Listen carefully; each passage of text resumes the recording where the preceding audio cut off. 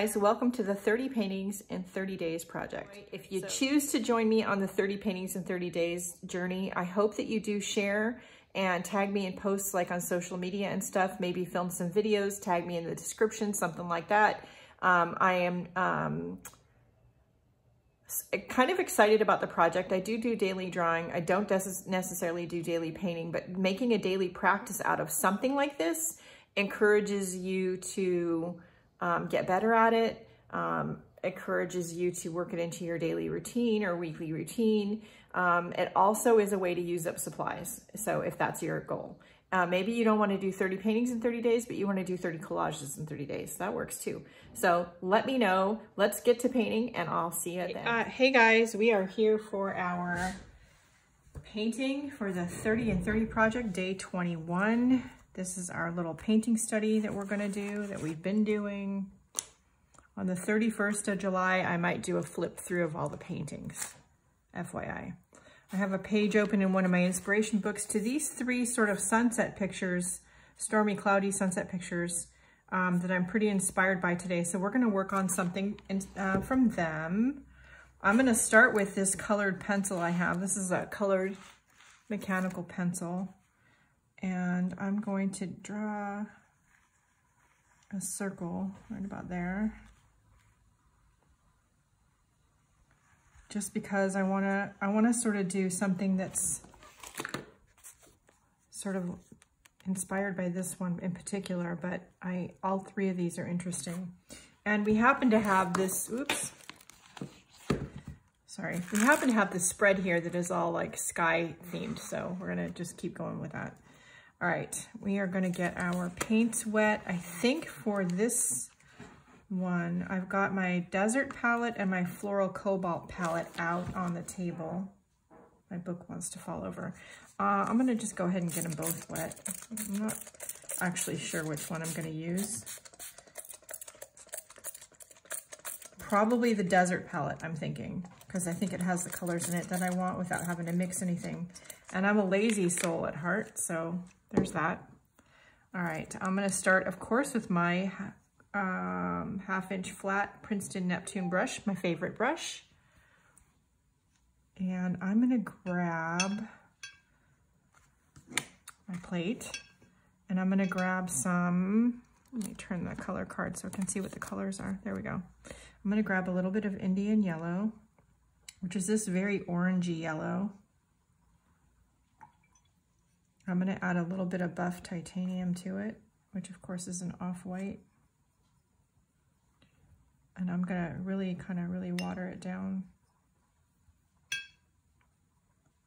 I'm to take my page here and I'm just to get the whole page sort of wet with this color.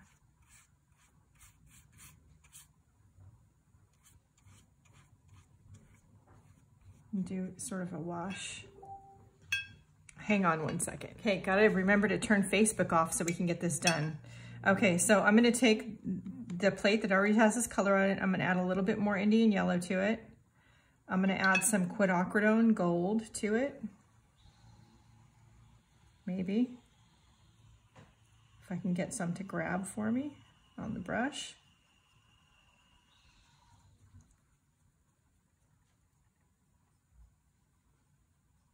Okay, and using again the photo as inspiration. The, pa the paper is wet, so you know the color is going to bleed a little bit, which I'm very okay with.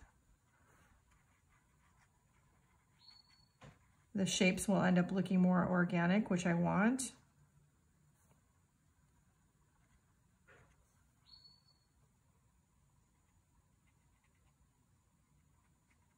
I should do that part with a small round brush.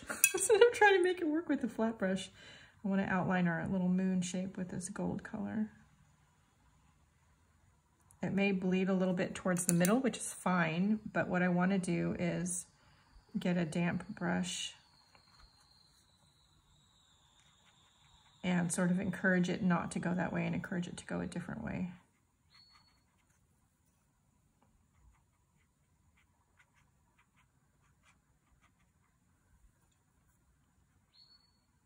Something like that.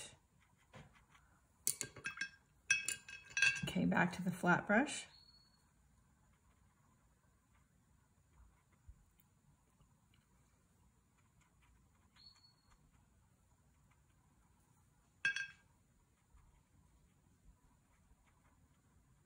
Adding some water just to sort of soften up a few of the harsh lines.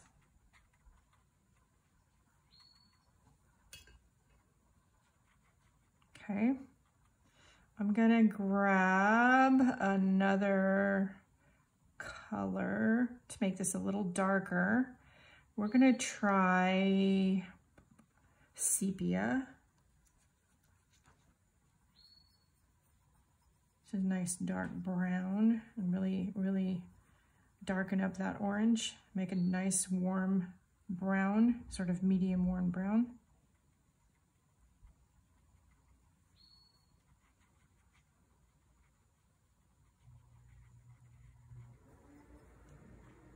That noise is my husband downstairs. He's making spools for you all for the Etsy shop.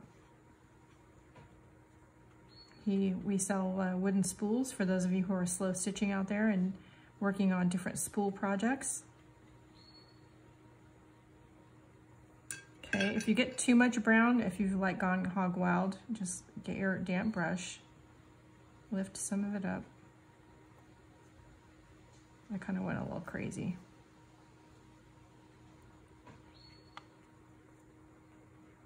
It's fine, it'll work out.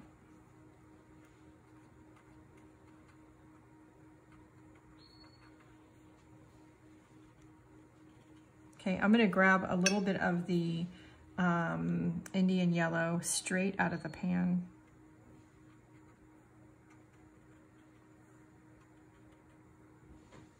To add some pops back that I kind of lost.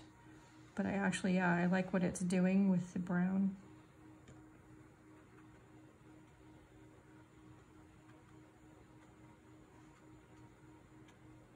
Okay, we're gonna give it a dry and I'll be right back. Okay, we're gonna continue making this darker. As with most things, especially watercolor, you always wanna start with your lighter colors and work your way darker. Um, the paint, the nature of the paint makes it very difficult to go back the other way. Um, okay, so that lecture being said, we're gonna take some more of our sepia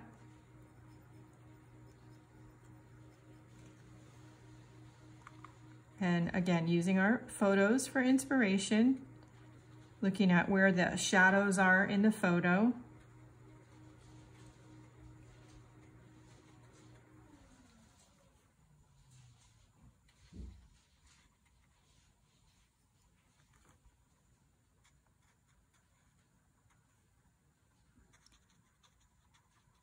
And trying to sort of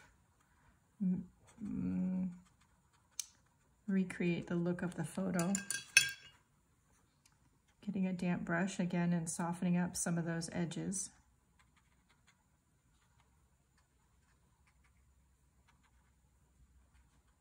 Okay, I'm gonna grab some of the neutral tint that's in the Desert palette, the really dark um, black gray color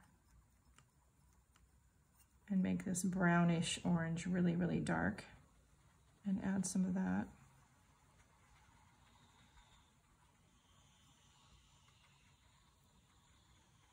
Without drying the paint off so it'll stay pretty wet.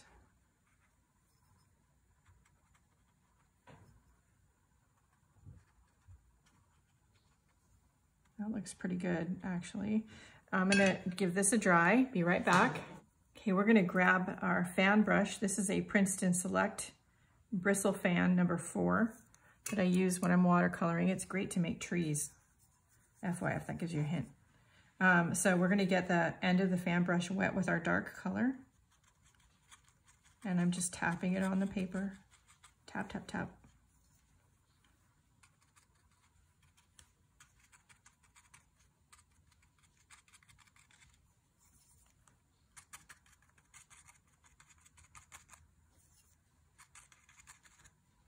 Use the tip of it to like suggest a trunk, tree trunk. You can also just kind of take your fan brush and do this to like for grass. We're gonna take more of that neutral tint, the dark color,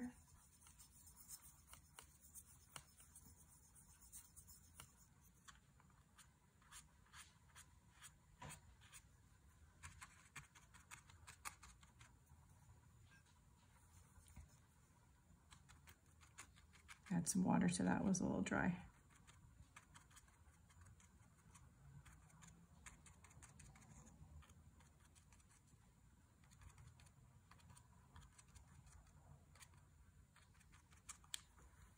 Okay, and then we'll take our flat brush.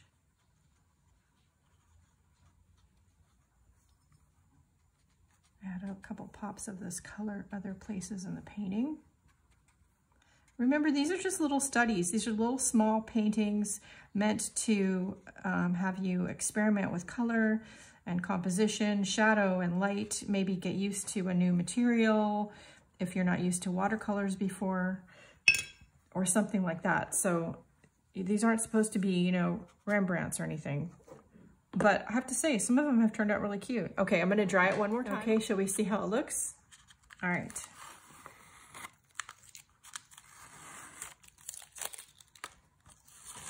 Look at that. That's cute. So there you go.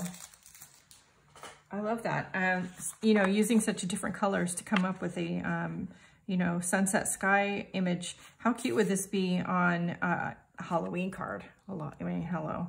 All right, so that's it for this week, or I should say today. Painting number 21. We'll be back. How was that for today's painting? I hope you enjoyed the process and um, if you want instruction on the painting, you need to be over on Patreon. They are gonna get the talking version. Here on YouTube, you're just gonna get the speed through version, sorry. Um, if you'd like to support the free content here on Facebook or in the, uh, here on Facebook, holy cow.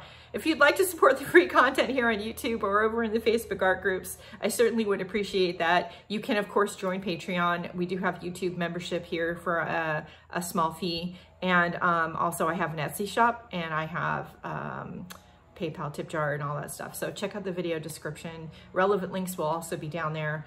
And uh, yeah, don't forget the most important things stay healthy, stay safe, stay creative, and go out and do something nice for yourself because you deserve it. Do share your work with me. I would love to see what you're doing. That's it for now. See you later. Bye, guys.